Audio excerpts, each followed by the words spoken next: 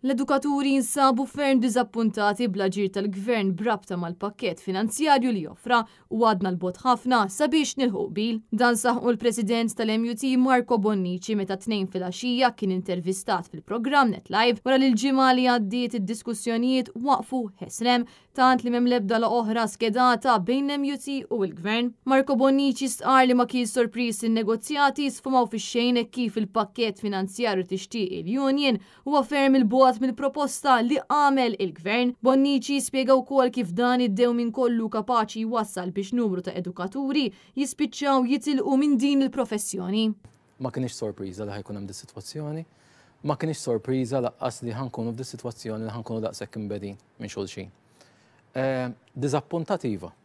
Jiġifieri jiena ovvjament jiena nistenna li la jkun hemm wegħda elettorali daqshekk b'saħħitha li tibqa' tiġi repetuta għal diversi eh, xhur sa prattikament il-bira stess, Jiena nistenna din u mbagħad narawha u nsarrfuha. Il-President tal-MUT stqarr li Robert Abela ma żammx mal-wegħda li għamel fil-manifest elettorali li jkun hemm titjib sinifikanti fil-pagi tal-għalliema. Il-fatti hija li l-proposta li tagħna mhijiex b'saħħitha, mhijiex sostanzjali bħalma kien wiegħed u għaldaqsant ma ġietx aċċettata. Hekk kif l-azzjonijiet industrijali fl-iskejjel tal-Istat u tal-Knisja daħlu fit-tieni ġimgħa tagħhom, Marco Bonnici kkonferma li m'hemmx laqgħat oħra skedati dwar il-pakkett finanzjarju għall-ftehim settorali l-ġdid, bil-President tal-MUT jinsisti illi Mussew li l-pagi tal-edukaturi baqgħu daqstant lura. Temm id-diżappunt ta' sitwazzjoni kif ovvjament qed tevolvi.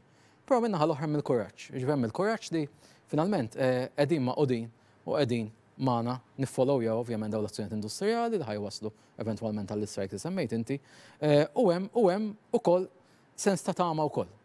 Għax ovvjament l-edukatur qed jaraw li issa l-affarijiet bdew jiċċaqalqu u qed jittamaw li jiċċaqalqu għal dak li finalment kulħadd jixtieq. Intant huwa evidenti li għal ħafna mill-membri tal-Kabinett ta' Robert Abela din mhix kwistjoni ta' importanza filwaqt li oħrajn għadhom qed jgħidu li se jintlaħaq qbil mingħajr ma jispjegaw għaliex krollaw it-taħdidiet mal-għalliema. Lill-għalliema m'intkomx qed tagħti każ? Anke l-għalliema nas. Qegħdin jistennew minn Diċembru. Naslu magħhom ukoll. Dejn diskussjonijiet u dan huwa żgur li l-Gvern li mhux ser jixaħħaħ mal-għalliema. Imma il-proċess falla, le? Ma proċess ma falla xejn għaliex bħalissa dejn diskussjonijiet. Għalfejn m'intkomx qed tagħtu każhom l-għalliema? Mhu veru xejn.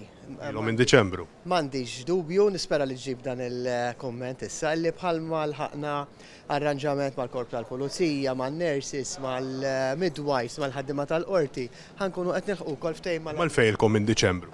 Lill-għalliema għalfejn m'intkomx qed tagħtu każkom? Ilhom jippruvaw jilħqu ftehim magħkom minn Diċembru. Silenzju, tihom lill-għalliema.